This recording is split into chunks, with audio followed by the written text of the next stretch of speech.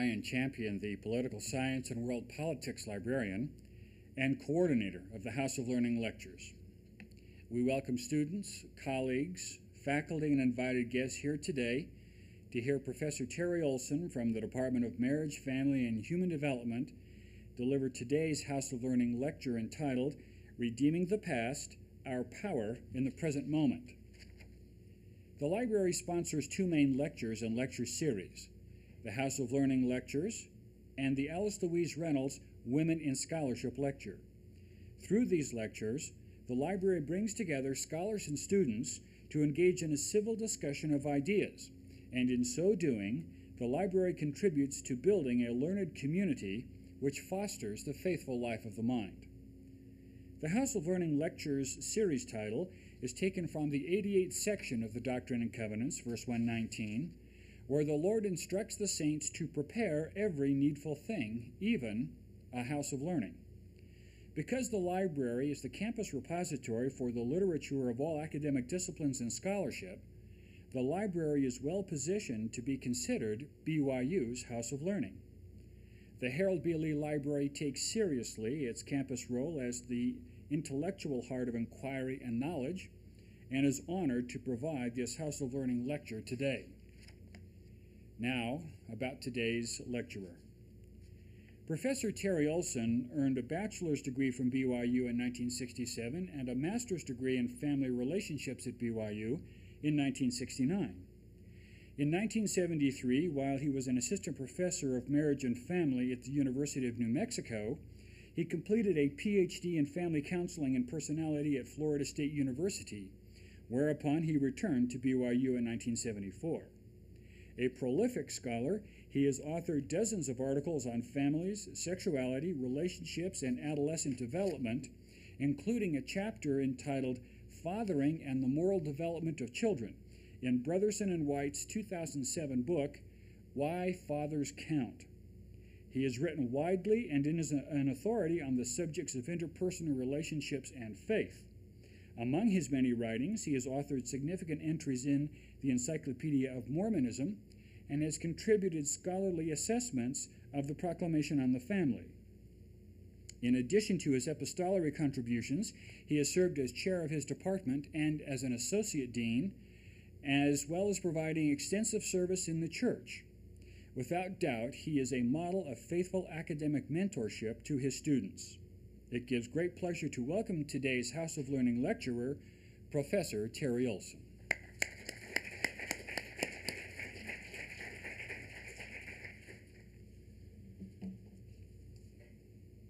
I'm grateful you were willing to come, and um, we're, we're, considering two main possibilities. You, have got an outline that should help a wee bit. Uh, the outline is primarily to keep me on track and to help you remember what you otherwise would have forgotten uh, after you leave. But the two main possibilities that we're considering are first, how we typically explain ourselves, that is, our human being. How we typically explain ourselves, our thoughts, our emotions, our attitudes, may not always allow us to tell the whole truth about what it means to be human. Just consider that possibility. Secondly, our explanations of ourselves often invoke an assumption that we are somehow trapped by or even victims of the past. We're proposing that it is possible in the present moment to redeem the past, even change it in the most meaningful way that we can change the past and hence the title, Redeeming the Past Our Power in the Present Moment. I suppose I need to talk a little bit about what it means to redeem the past. The first notion is that we can extricate ourselves from being victims of it. How often have you tried to explain your behavior by noting that if such and such hadn't happened to you, you wouldn't think, feel, or act today the way you think, feel, and act? Now, the past is significant in terms of who we are in the present moment, but it may not be that we are victims of it as we often explain ourselves. The second definition of redeeming the past for today is to find that the meaning in our lives comes from what we are in the present moment. Uh, often, I think our culture assumes that the present moment is hostage to the past. That is, what happened in our yesterdays irrevocably and inescapably uh, create something about who we are in the present moment that, that we can do nothing about. That whole notion doesn't bode well for the notion of agency. So, in terms of what we are, we're proposing that perhaps humans are not merely victims of past events. And perhaps the past is meaningful, but not dictatorial of our present attitudes and emotions. I will give examples of that in just a moment. And finally, perhaps it is possible to meet the challenges of life when we live whole in the present moment. And that's a term also that I've got to, to explain, I, I'm sure.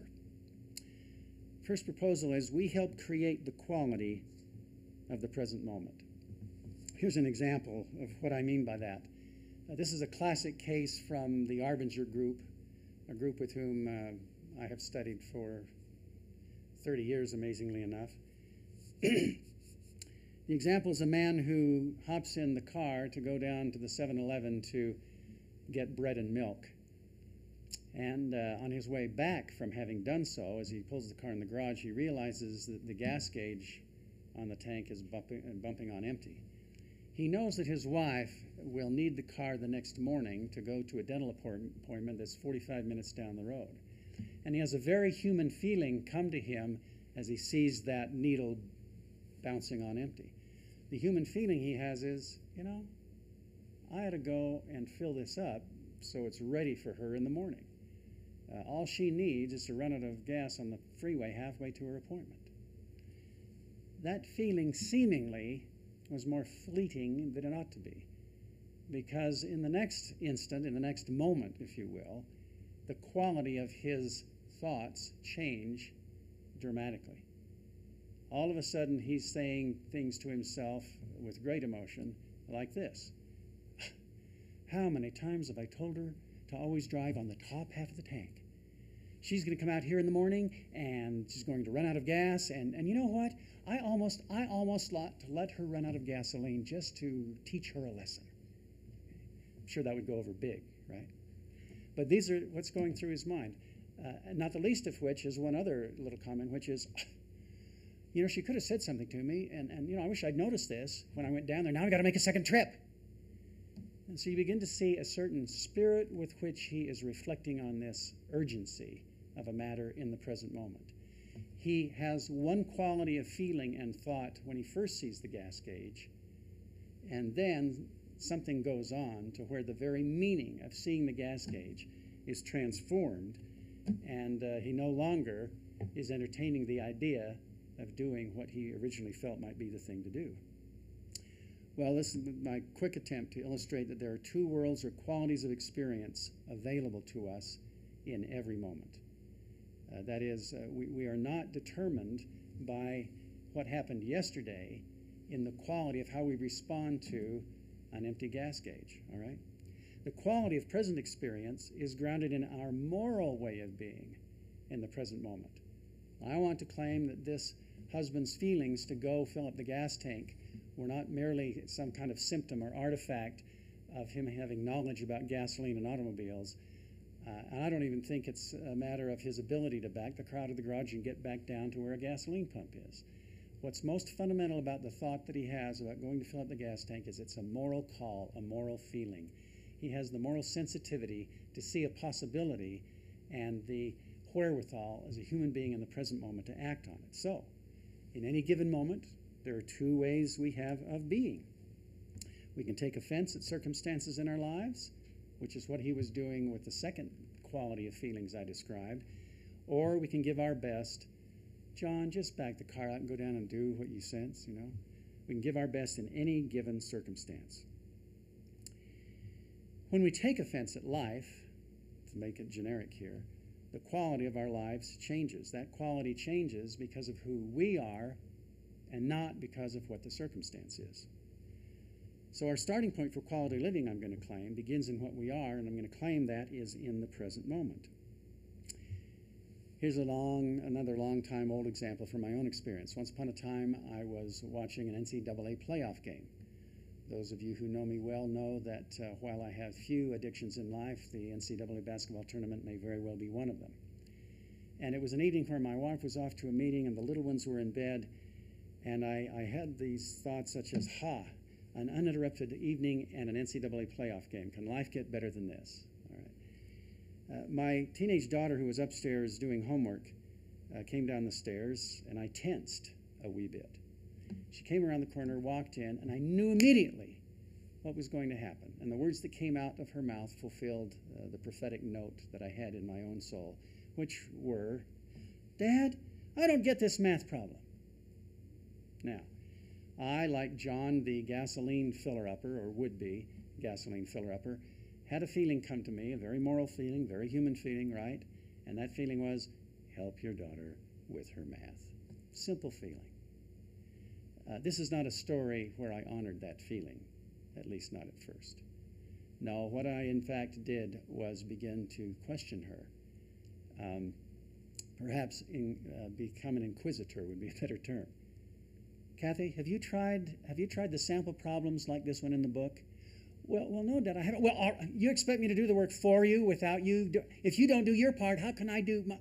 And so on. Well, by the time I'm finished with her, she has a lower lip problem, and that lower lip problem is where it's protruding, you know, and it's kind of. Okay, never mind. I'll, I'll, just go try it myself. So she stalks out. Notice she doesn't walk out. And I turn my attention back to the game, the all important game. I remember at this point that there were two minutes and eight seconds left to halftime.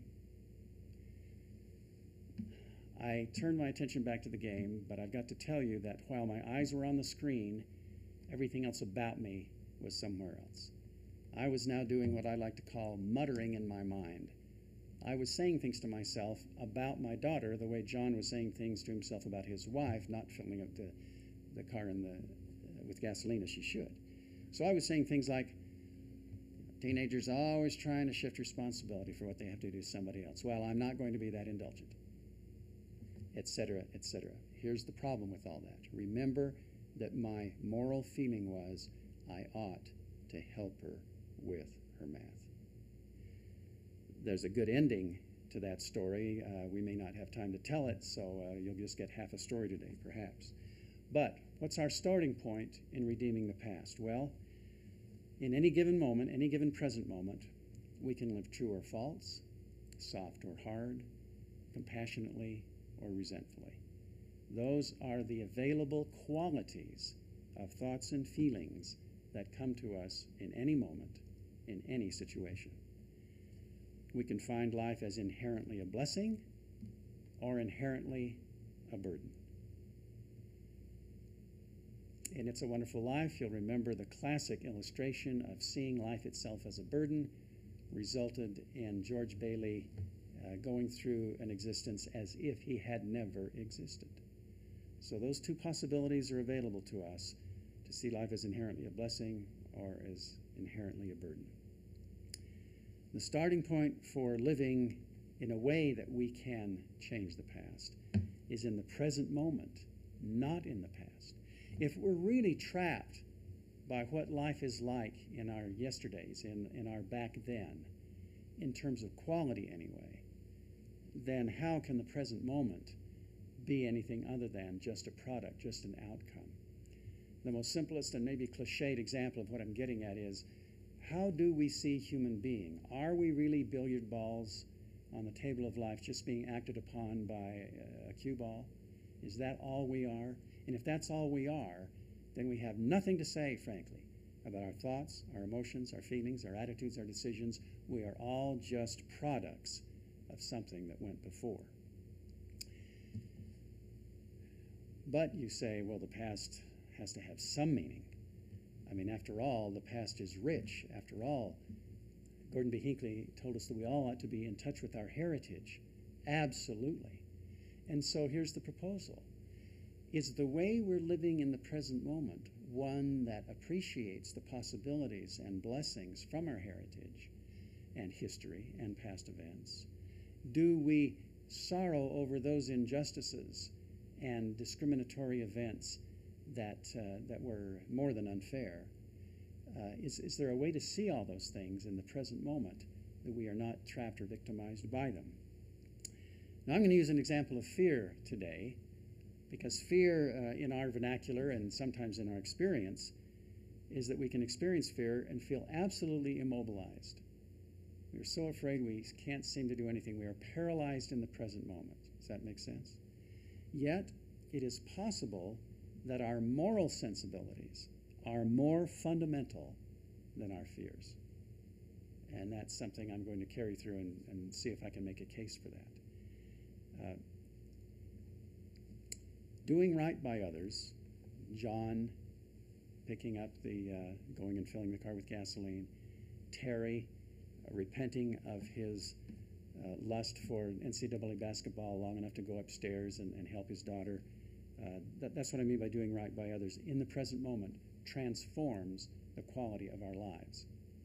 In the story I told you about my refusal to help my daughter with her math when I believed that I should, uh, my, her having come into the room was a burden. Her having made the request was a pain in the neck. Her having interrupted the game was a disaster. If, if I'd known how to sing uh, the song Poor, Poor, Pitiful Me, maybe I would have, you know. It was that much of a, a, a qualitative disaster for me. But guess what? At some point, um, I, I, gave up on the game. And it was because, uh, I don't know what happens to you, but what happens to me is I, you, you don't escape a moral feeling you have. You only resist it and, and tell yourself things that excuse you in trying to do the thing, or not do the thing that you believe was right. So I remember giving it up. And, and by the way, I wasn't doing this just behaviorally. What, we, what we'll discover today is that the meaning of behavior is deeper than the behavior itself. All right? So I wasn't just going through the motions. I did not go upstairs as irritated that I had to do it as I was irritated with the initial request. No, no. My heart had changed. Got up to where she was working feverishly, opened the half open door a little bit more, and I said, uh, Hey, Kathy. And she said, What? I said, how, how, how are you doing? Fine. Did you get that? Did you get that problem solved? No, no. I'm going to wait till tomorrow. I'm going to do it uh, with the teacher tomorrow at school. Okay. Well, what have you done? Well, I've gone on inside. I've gone ahead. Well, show me where that problem was. So she's working out of the book here, and I have to go around and go back a few pages and look at the problem she was going to ask me about. And we have this conversation, and I ask her a question. Ooh, you know, I've forgotten more about quadratic equation factoring than I than I used to know. But tell me this: what step do you take first? Do you do this or do you that? And and still in her sort of hard, impudent way, which I had helped provoke, right? Says, well, I'm not sure, but I think you, and I think you, and then I said, well, how about this? And she said, oh yeah, and anyway, at the end of five or six minutes, we solved the problem, did the one, checked the answer, did some other sample problems. Uh, all was copacetic, you know. Uh, so I said, okay, do you think you need any more help? No, no, no, Dad, I've, I've, got the rest of it done. So as I was leaving the room, she turns to me and says, hey, Dad, what? Thanks, Dad. Hey, thank you, Kathy. I was the one that kind of mucked it up down there. Again, end of story. The story did not have to end that way, did it? I could have either stayed downstairs insisting that my basketball game was more important than my moral feeling to help. Or I could have gone upstairs in this self righteous, demanding, almost dictatorial reminder of her that she is an irresponsible math studier and make it worse. But that was a story with uh, where the present moment changed the past just a bit. To say it another way, by the time I had gotten upstairs to seek a way to solve the problem, the meaning of who I was and what I had done downstairs had become clear to me, and I wasn't the same person now in trying to help her as I had been when she made the initial request. I'm going to claim that it's similar, uh, similar situation for us in the case of fear. We can be fearful and experience fear of a certain quality, and then in the way we change our hearts, the quality of that fear can change. Sometimes that means we are free of fear altogether. Remember when you were younger and you were afraid of the dark, dark walking from the garage into the house. And then at some point in time, uh, the dark, quote, held no more fear for you. Not because the dark had changed, but because you had changed. When fearful, we may not be able to create the outcome we wish, but we can nevertheless give our best in the situation. All right? Now, we're going to use a film clip from uh, Apollo 13 to illustrate what I'm getting at in here in terms of fear. The first clip we're going to see is going to be of Marilyn Lovell, Jim Lovell, the astro- astronaut's wife, who is, is worried mightily about this third launch, this third trip into space that her husband is going to make. In fact, uh, Jim Lovell had made the mistake the week before the launch of taking his wife, Marilyn, to a movie that I believe the title of uh, was Marooned. It was about some astronauts who got marooned on another planet. Well, that's not where you take your wife, who is already nervous and worried about a launch, a week before the launch. But that was part of the deal. Now, in this, in this film clip, I want you to focus primarily on Marilyn Lovell's fear. Now, now what you're going to first see is, uh, frankly, her nightmare. And, and uh, so just understand what you're seeing is a nightmare at first. And then we go to astronaut Jim Lovell, totally excited that he's going to be the commanding, the command pilot for this uh, launch, talking to his little boy about it. And there's a point, at, and, and uh, Marilyn comes down to eavesdrop. So, so two things are going to develop in this scene. There's Marilyn's fear, coupled with an admiration of her husband's uh, engagement with her son. And then there's also the little boy's fear. Uh, I want you to notice in, in uh, this scene, she'll experience both qualities of fear, although not simultaneously. Just as in one moment, John felt that he ought to fill up the gas tank and was fully prepared to go act on his moral feeling uh, honestly and yield to it. But in the next moment, he seemed to be resisting, or in Terry Warner's words, betraying that feeling and, and whining and complaining and murmuring about how obnoxious his wife's lack of filling up the gas tank behavior really was for him. All right? Well, similarly, there's a kind of fear that is paralyzing and, and makes us feel completely overwhelmed. Um, versus a kind of fear that we move through, carry with, but take an action that is also morally more fundamental than the fear itself. Um, so she'll experience both qualities of fear. I'm going to let the clip run to an exchange between Marilyn and Jim in the Corvette. And, and what Marilyn is doing, and what's going on here, by the way, is uh, she's afraid. She feels overwhelmed. She feels like she can't handle it. And, and Jim Lovell doesn't have a clue. All right? So, what Marilyn starts to do is give a bunch of excuses. Notice I'm telling you how to see this. Uh, I want you to know what to look for, okay?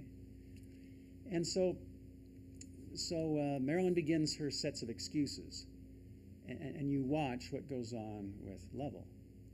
Then, after she lays the bombshell on the table, I want you to watch what Lovell does, what Jim Lovell does. Okay. Uh, before the scene is over, uh, you'll be able to notice when Jim Lovell gets it, that is, when he recognizes she is afraid, and then you'll notice when Marilyn Lovell gets it, when she recognizes his disappointment in her not coming to the launch.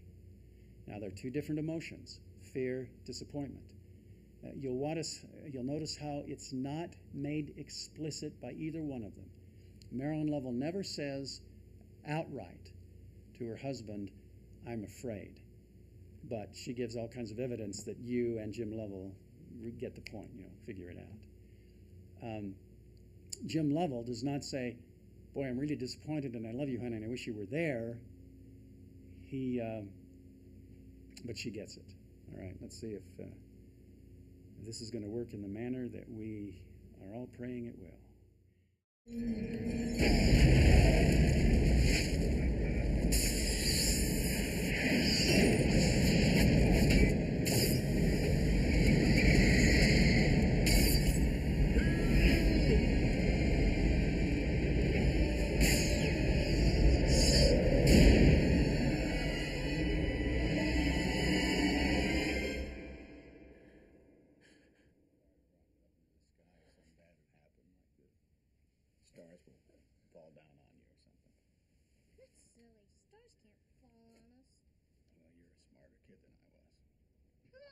Take you to get to the moon?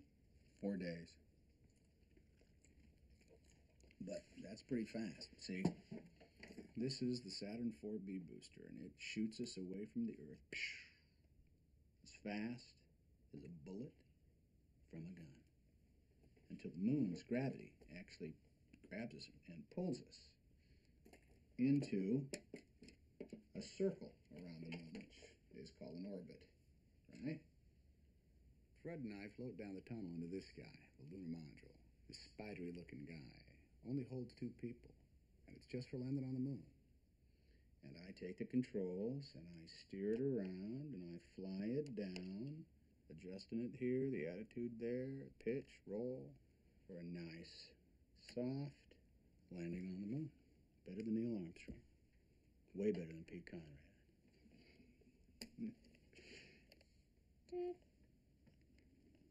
Did you know the astronauts on the fire? Yeah, yeah, I did. I knew the astronauts in the fire. All of them. Could that happen again? Well, I'll tell you something about that fire. Um, a lot of things went wrong. The uh, the door. It's called the hatch.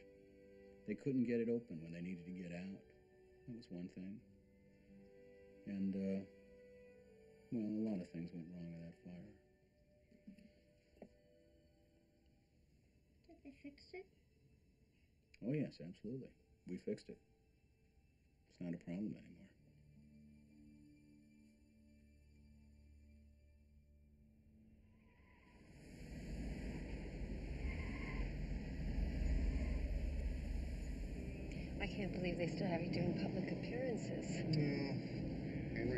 Was all over me. I know. I couldn't Jim, get away. With the training schedule this tight, Well, they it's shouldn't the be asking. Program, Harold. It's, you know, it's NASA. Hey, hey, you're Jim Lovell, aren't you?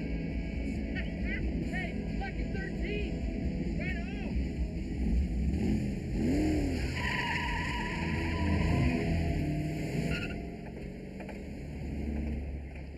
It's the second time it's done that.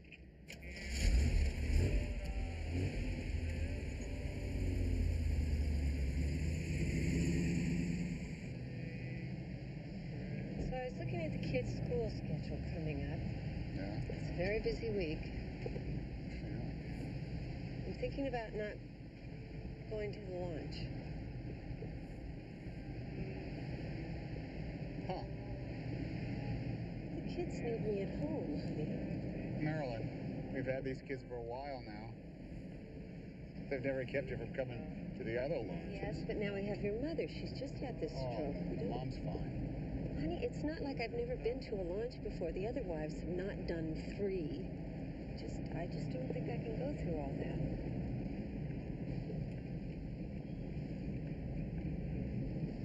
Just be glad when this one's over. Well, you're gonna miss a hell of a show. She sees his blinking and blinking and blinking. I'm going to claim that in the moment that Jim Lovell realized his wife was afraid and that was the real issue, that the meaning of the past for him changed. And it didn't change because the past changed. Marilyn's fear from the past week and months was still something they could recall, but it changed because now he understood something that he had been unwilling to see. And when in the present moment we see honestly the situation, other people, ourselves, we see the past anew. It is no longer a burden, but a tool of, of uh, informing us, teaching us, unfolding the world to us. We always claim that we came here for purpose of learning. My experience has been that when we see life as inherently a burden, we don't learn anything from the past that we are supposed to learn. But when we are living whole in the present moment, honoring our moral feelings, then the past informs very, very well who we are, what we can do, how we can think, feel, and act. So Jim Lovell sees his wife's fear and lets go of his attempt to dissuade her from coming to the launch. She glances over after dropping the bombshell. Uh, people who are going against a moral feeling they have, which in her case might be either uh, to support her husband or demonstrate uh, that it means something to her to be uh, with him in this great event. whatever the, the moral sensibility, when she sees all that blinking from her husband, she uh, the past changes for her. Uh, her fear has not disappeared, but it has changed in quality, and her moral sensitivity about her own role and, and her husband's situation uh, has changed as well. Um, Marilyn responds to her husband's faith, to his philosophy, to his approach to life in a film clip I'm about to show.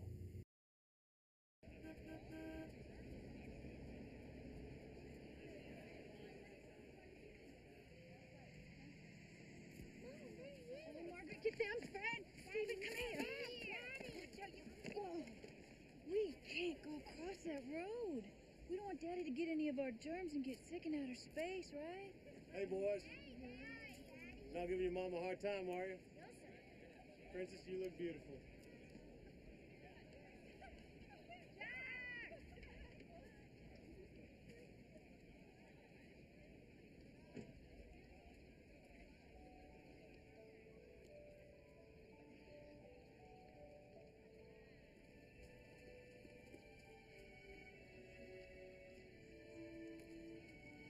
Hey, that looks like Marilyn Lovell.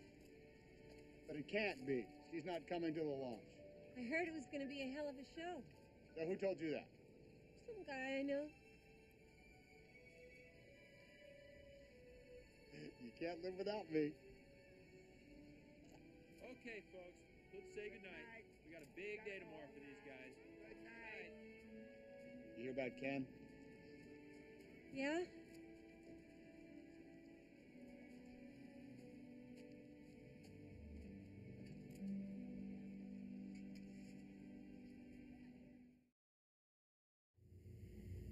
Um, a little background. One of the uh, news anchors in the 70s was a fellow named Jules Bergman. There's a couple of you here who I suspect, without being offensive to you, will have remembered Jules Bergman. I am one of them. I remember Jules Bergman in the 70s. Marilyn Lovell carried a fury against Bergman because all he ever wanted to talk about was what went wrong, when were you afraid, what other disasters have you faced. Uh, He was just Mr. Pessimism. You know, he got the world title for that in, in uh, Marilyn Lovell's mind. And, and during the filming of Apollo 13, Jim Lovell told a story to Tom Hanks about being over the Sea of Japan and having the lights in his cockpit short out. And when Hanks heard the story, he said, We've got to get that in the movie somehow. And what's uh, tremendous about the way they put it in the movie uh, was that uh, it was a comfort. They, they it in the movie as a comfort for Marilyn. Uh, here her, here's her husband in harm's way outside the Earth's atmosphere, and she has a chance to see her husband respond to one of those negative, in her mind, questions from Jules Bergman about being an astronaut, about being a jet pilot, about all the things that put him in harm's way. Um, in this clip, by the way, when, when Marilyn Lovell watched uh, the actress playing her on, on television, she said at this point and, and another point where she was very where the where the actress was very afraid, uh, Marilyn found herself blurting out, "Boy, I can really identify with that woman, the one that's representing me." So let's see uh, how this goes. Apollo 13 Commander Jim Lovell has more time in space, almost 24 days already, than any other man. And I asked him recently if he ever was scared. Oh, well, I've had an engine flame out a few times in an aircraft and was kind of curious as to whether it was going to light up again, things of that nature. But uh, uh, they, they seem to work out. Is there a specific instance in an airplane emergency when you can recall fear? Uh, well, I tell you, I remember this one time. I'm uh, I'm in a banshee at night in combat conditions, so there's no running lights on the carrier. Uh, it was the Shangri-La. We were in the Sea of Japan, and my my radar had jammed, and my homing signal was gone because somebody in Japan was actually using the same frequency, and so it was it was leading me away from where I was supposed to be. And I'm looking down at a big black ocean, so uh, I flip on my map light, and then suddenly, zap! Everything shorts out right there in my cockpit. All my instruments are gone, my lights are gone, and I can't even tell now what my altitude is. I know I'm running out of fuel, so I'm thinking about uh, about ditching in the ocean. And I, I look down there, and then in in the darkness, there's this uh, there's this green trail. It's like a long carpet that's just laid out right beneath me, and it was the algae, right? It was that phosphorescent stuff that gets churned up in the wake of a big ship, and it was it was it was just leading me home. And now, if my cockpit lights hadn't shorted out, there's no way I'd have ever been able to see that.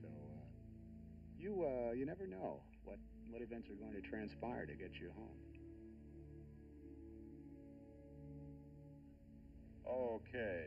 Spacecraft Commander Jim Lovell, no stranger to emergencies, he. It, it really cracks me up regarding uh, Bergman's response because when, when you think about it, uh, Tom Hanks Jim Lovell's story was a story of faith, hope, and a philosophy that you, you give your best in every moment. And, and Bergman doesn't know how to handle it, right? There's that silence, and then there's that okay. Uh, it, it, reminds me, by the way, just a little footnote here.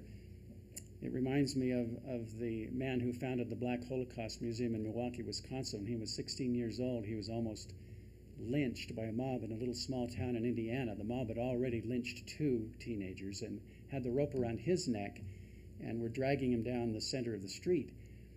And uh, the man said that he prayed, asked to have his sins forgiven him, and then prayed that the Lord would not let these men do this thing. And in the next moment, he heard a voice that said, Don't do this thing. A calm came over the mob. The people holding the rope dropped it. They drifted off. The fellow got up and ran out of there, got out of there. And later, a PBS interviewer, in asking the man about this incident, said, um, when, when you tell people that you heard a voice, uh, how do you explain that to them? And, and I don't know if this comment from him was original with him, but it's a classic that I've never forgotten. He said, Well, to those people who believe, no explanation is necessary. And to those people who do not believe, no explanation is possible. Ah. To Jim Lovell, who, who explained a philosophy of hope and, and never give up, with, with, the, with the concluding notion that you never know what's going to transpire to get you home, Bergman's response is, okay, then after a pause. Well, all right. Now I'm going to claim one more thing about Marilyn Lovell being able to change the past. Uh, we've seen incidents where it looked as if, to her especially, and maybe to us, as if life was overwhelming. The fears that she was confronting were more than any human could be expected to bear. Hence, I can't possibly go to a launch, for example, because the other wives haven't had to do three going to a launch is a burden, right? Um, she does not, um, however, uh, have that quality of fear carry with her across time. And one of my points today is that our, our moral sensitivities to one another are more fundamental than our fears.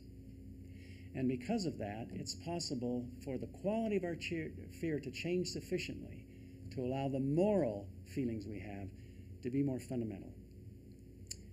This clip is going to be of uh, Marilyn and the little boy, Jeff. You'll need to recall what Lovell is saying to the little boy.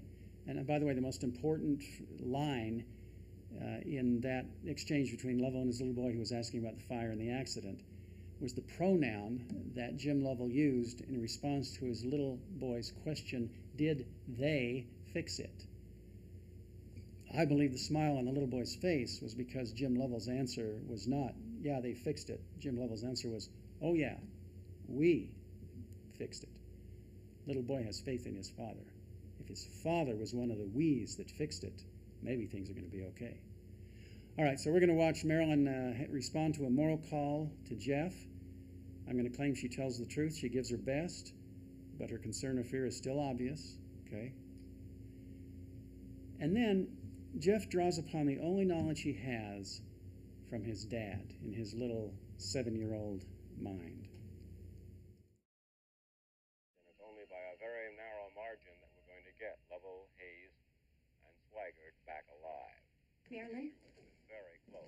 Very close. Not so much delineated by the I'm sorry, Jeffrey's calling for you. but I think by the terseness of Kraft and the grim lines of Jim McDivitt. This has been a very close call, and we're not out of the woods yet, not by a long shot. Jeffrey? Why are so many people here? Oh, well, you know, your, your dad's flying his mission. He said he was going to get me a moon rock. Right.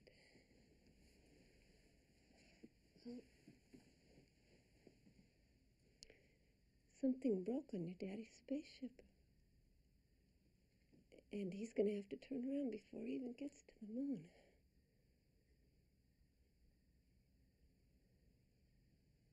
What's at the door?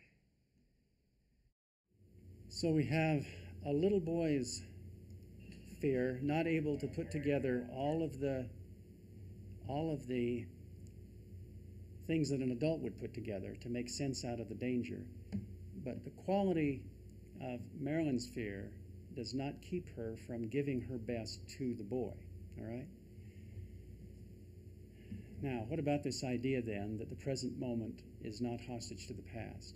I've tried to use an example of emotion to show that, that our, our helplessness and sense of being overwhelmed need not be something that we are trapped by or that we cannot escape from. And that the solution to those kinds of problems comes in the present moment and is not grounded in the past. So let's see if the implications of this idea are worth the time you've spent to hear it. Uh, so, what about all this stuff, all right? Well, the present moment is not hostage to the past. When we live true to our moral sense to give our best, and usually that means giving our best to others and giving our best to what we believe uh, would help us do right by them, we are open to our felt call to help others. We draw upon the past for knowledge, understanding, strength, and direction. Precisely because life is no longer a burden to us, the past is meaningful in a way that we can draw upon to make a difference in the present moment. Some additional so whats. When we resist our moral sense, the present moment does become a burden to us, and we feel helpless, trapped, and on occasion even overwhelmed. I think we've seen both those qualities in these clips. In such moments, it looks to us as if the present moment has been ruined by the past. We've used some fairly dramatic events to illustrate that, but I believe it holds true on the little everyday events that I suggested. For example, what does John do, uh, the, the gasoline filler upper, what does he do when he refuses to act on his moral call to go do it? He invokes the past. How many times have I told her that she needs to drive on the top half of the tank? So he's going to use that to justify either why uh, it's not going to be the right thing to go do what he felt was right uh, a millisecond ago. And he's going to use that also as proof that if his wife were uh, not such a space cadet on gasoline, that, that he wouldn't have to worry about this anyway. In such moments, it looks to us if the present moment has been ruined by the past. We then, in that moment, do not see ourselves as agents, but as victims. Think of the last time that you felt you ought to take an action on behalf of somebody, but perhaps it's someone against whom you've been holding a grudge. You will not do the thing that you feel you ought to do. And what you'll tell yourself is, because of what Beulah did to me in the past, I'm not going to do this now. How, oh, what a perfect way to make yourself hostage to the past in the present moment and simultaneously shift responsibility from what you believe would be right to do onto somebody else's shoulders. Uh, the final so what. While in the past, excuse me, while the past is relevant to who we are, obviously, I hope we've made that case as well, it is the quality of life we're living in the present moment that determines what knowledge and in what spirit we bring forward past memories. If you bring forward uh, grudges and injustices in a burdensome way, then you'll be burdened in the present moment. If you remember injustices as, as a sobering reminder that, that the world can have uh, dastardly and discriminatory and, and evil uh, forces in it, and that yet in the present moment you have the ability not to be that way yourself, you still have a better starting point than if you are burdened by all those past things that have come up. When we live true in the present moment, then, we genuinely learn from the past the very things we are supposed to learn. And in present moments of living true, that is, doing right by others as we see it, honoring our moral call, our moral promptings, being true to conscience, however you want to say it, we really do redeem the past because we're no longer living as if it were a burden. I don't know if anybody's ever really tried to measure the percentage of events in their past that were beneficial or fair or just or compassionate or cheerful, cheerful thrifty, brave, clean, or reverent. I don't know if we've ever really measured the percentage of that compared to the percentage of times when we've been done unto, when injustice has prevailed. But it evidently doesn't matter what the percentage of the past is that's been that way. What always matters is who we are in the present moment. In present moments of living true, we redeem the past because we are no longer living as if it were a burden. And finally, even in the face of injustice, disappointment, or betrayal by others, we can sorrow rather than despair. I believe sorrow is a celestial term. I believe sorrow is a, a synonym for godly sorrow, if you will. So we can sorrow rather than despair, which is giving up, finding the burdens overwhelming, right? The difference, however, in this is in what we are, not in what the circumstance is. Appreciate you coming, and I hope this is more meaningful next Wednesday than it is today, when in some real life situation you're confronted with the opportunity to uh, essentially do right as you your conscience suggests, rather than be burdened by an opportunity in the present moment to do the right thing. Thanks very much.